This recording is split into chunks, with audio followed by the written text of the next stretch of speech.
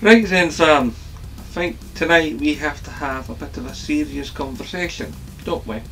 hmm I, this evening, intend to talk about the YouTuber formerly known as Jim Sterling, now going by the name of Jim Stephanie Sterling. Sterling has been a long time content creator before YouTube, spent a serious amount of time working on theescapist.com. Some of you may also know other people from theescapist.com, such as Yahtzee Croshaw from Zero Punctuation. Now, recently, the creator known as Sterling had uh, come out as trans. Now, to my mind, nothing wrong with that. I have friends that are trans from both sides. Women who have become men, men who have become women, and at least a couple others who are mid transition as we speak currently. And for my money, I'm all make your happy happen. If that's who you think you are, then by Jove, you go be the person you need to go and be. However, not everybody shares such an enlightened view, which is a shame, because clearly, as human beings we've still got a bit of evolving to do, don't we? Disappointing. But with this disappointment comes an additional element. You see, a long time creator like Jim and Stephanie Sterling, they've been at this for a good number of years as an actual proper James games journalist. I mean, Sterling does the research. Sterling has the knowledge. Sterling has the on-screen joie de vivre, if you will. But because so many out there are, and it's an ugly word, but it's a true word, transphobic. Sterling has been losing audience ever since a short while ago when um, Sterling decided to actually come out to the world as transgender. Now, for a long time, most everybody that watched those videos knew that uh, then Jim Sterling was a gay man. And as I'm pretty sure I don't have to explain to a lot of you out there in the Zen fam, because I like to think the audience that I've cultivated on this channel and through my other social media efforts do not need to be this have this explained to them, but some people will be new and some people will be stumbling across this for the first time. There is, and I underline this in thick black italic text, nothing wrong with that. Now, there may be those that have a religious conviction that doesn't think that homosexuality is um, how one should live. And I can't tell you to not do that. I'd like to, but that is your life choice, and I'm not about to get in the way of that. But I do personally vehemently disagree with it. But you do you. I would just ask that if I'm letting you do you, then you let me do me, and you let Jim slash Jim Stephanie Sterling to her stroke him. You see how this works? It's about give and take. It's about compromise. It's about trying to get on as human beings, all stuck together on this rock, trying to make this life work. Now, Sterling has done, well, sterling work over the years. You know, investigating the antics of Ubisoft. Now, don't get me wrong, I love an Ubisoft game. I mean, you only have to look at my trophies to see that. I do like playing Ubisoft games. But it is important to mention that Ubisoft, or rather the Ubisoft higher ups, uh, Mo and Below, have done some questionable things over the years, have they not? I think they have, and other out- other outlets have reported it, admittedly not so rigorously, but it has been reported. There have been court cases, there have been articles, and it goes beyond just plain crunch. It goes to areas of um, sexual harassment, racism, and generally cultures of uh, inter-workplace bullying. Not cool. And then, of course, Sterling has also spoken upon some of the scummy behaviour of EA and their absolute unwavering orgasmic joy that they seem to have for microtransactions and all the loveliness that comes with that nonsense. So, as someone that's been out here in the creator space for a very long time, I first discovered him. Oh God, when did I discover him? Must have been. God, about 13, 14 years ago. It's when I was on holiday in Australia. So this is obviously before my boy came along. So I've been watching his content for a long time. And I would have to say that I am saddened by the loss of his subscriber numbers because he's recently dipped below 900,000. Now I know what you're thinking, but Zenbloke, you'd give a you'd give an arm and a leg for 900,000 subscribers, and you're probably right. but Sterling used to be a good deal higher than that, a good deal higher. Now, admittedly, he was never one of your big PewDiePies, you know, but he was a good mid-tier sized content creator, and he had a good deal more than 900,000. But over the last few weeks, since a particular event took place, Sterling's numbers have been steadily dropping. Now, at first, the drop was quite precipitous, but uh, it has leveled out and has been, you know, a, a shorter drop, but there's still a steady rate to it, and this is not right. If Indeed, it could be tracked to be the case that both Sterling and personally your boy here, Zenbloke, think as to why there's been a drop off. You see, it comes down to the fact that that James Stephanie Sterling came out to the world, big wig, in female centered attire uh, with, I'm not sure if there were boobs that were made from other materials or boobs that were made from Jim Stephanie Sterling herself through um, surgical or chemical augmentation, and of course wearing a pink leather jacket. And of course the big hat, but the big hat's been a thing that Sterling has had for a number of years.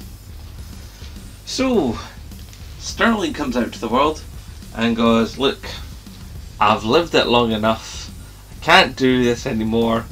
I am trans. That's it. Deal with it. And to me personally, it never touched the sides because, as I already said, I have friends who are all across the human rainbow. I've got friends that are gay, I've got friends that are straight, but the only the only thing I don't know, and maybe one of my friends is, and they just never said, but I think the only thing I don't have in my life is a furry.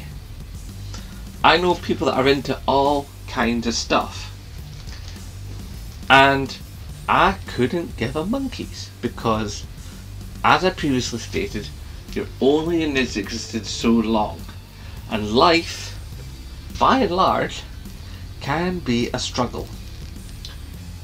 And, you know, struggle is fine, struggle is good. It's part of what get, develops character. But at some point, you just got to make yourself happy. And if you're continually living a lie about your own sense of identity, no one can live like that for very long. At least not without doing themselves serious damage upstairs. So, Sterling came out.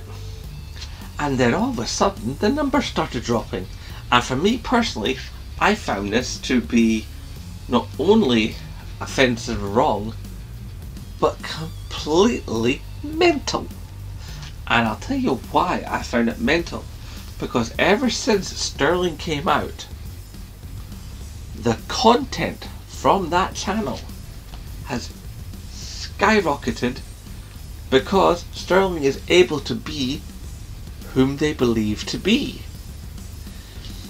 The level of confidence coming from the ability to be able to stand there on an international platform and go, This is me, deal with it, is uh, wonderful. And I personally doff my cap to you, Sterling. I mean, I am just a simple, average white bloke. I mean, I'm Scottish. You can't get much whiter. okay? Let me break this right down, okay? I'm Scottish. I'm male. I'm heterosexual. I'm a father. I'm a worker slash taxpayer. Okay? I am pretty much the living embodiment of the average white male. You know, I'm pretty sure that counts uh, to some people as me being, I think the word is cis. I don't know. I just try to live my life. I mean, look, I'm, I don't know if you can make it in this lighting here, but I am a properly hairy human. Okay, I'm covered in body hair. I'm a greeny, greeny blue, but basically blue-eyed Celt. Okay, it's like with a little bit of Irish ancestry. I'm as white as you're gonna get.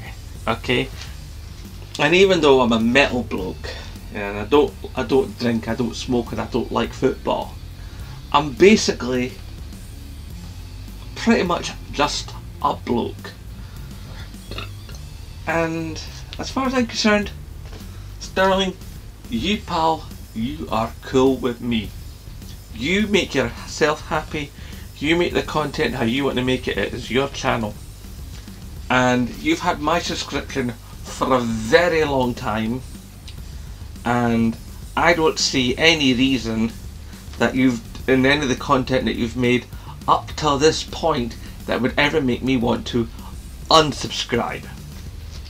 And to any of my viewers viewing this right now, or anybody that has stumbled across this video, I would say if you want subscribed, resubscribe. If you haven't subscribed, subscribe. That's right, I'm a small time YouTuber. I'm basically a minnow, and I'm asking you to support a far larger YouTuber than myself. Uh, simply because that YouTuber has decided that they wish to live their life as they wish to live it and no longer live a lie.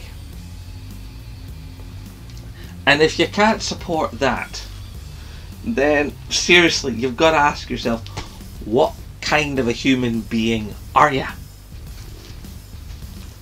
Now, admittedly, this is a gaming channel, and the only reason I can get away with talking about this within the confines of this channel is that Sterling does games journalism on a platform that talks a lot about gaming.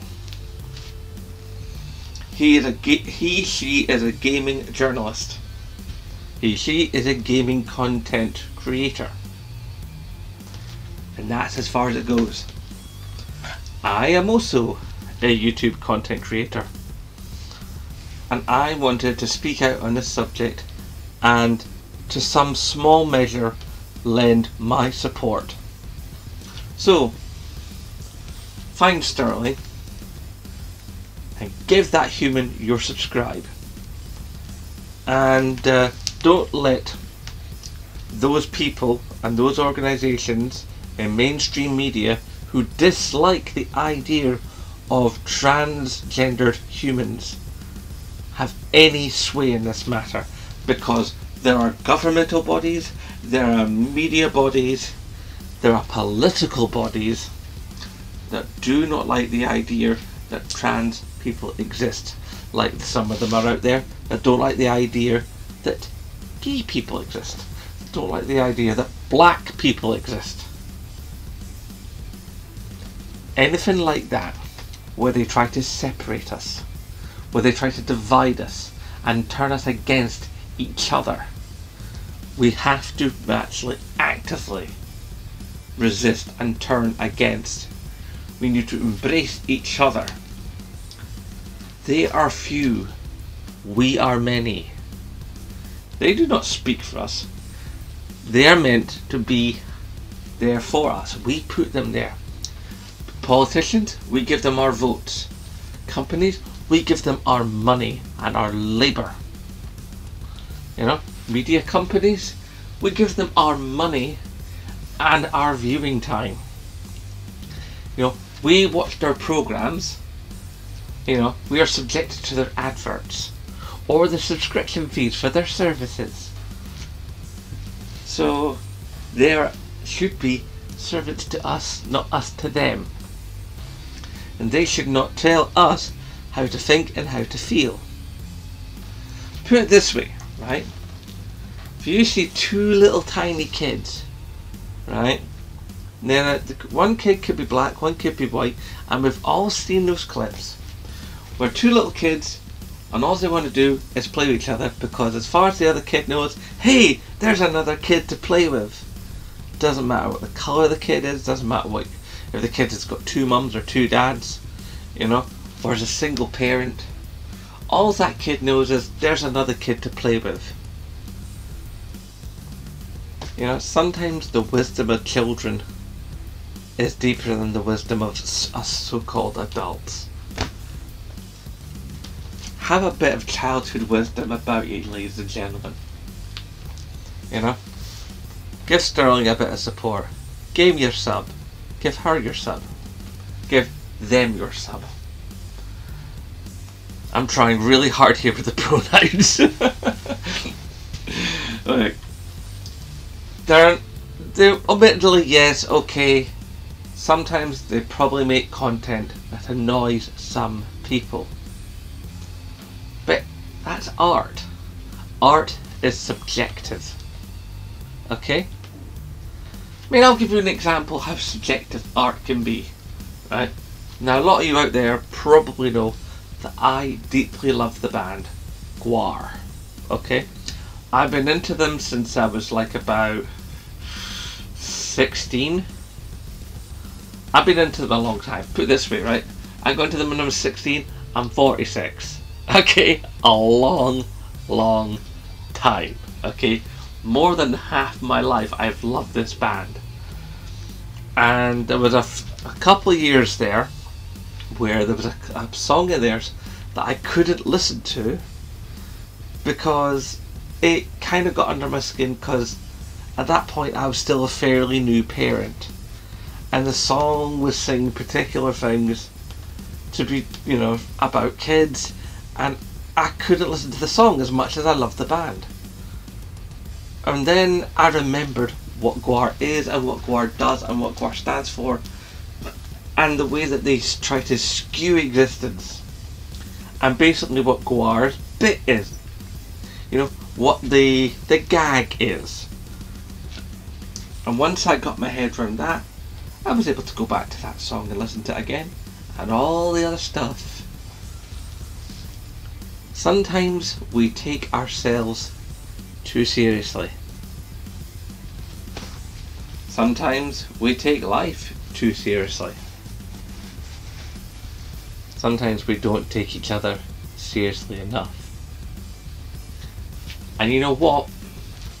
There's a high probability that pretty much all of you out there have somebody in your life that does not fit into the social so-called norms in one way or another.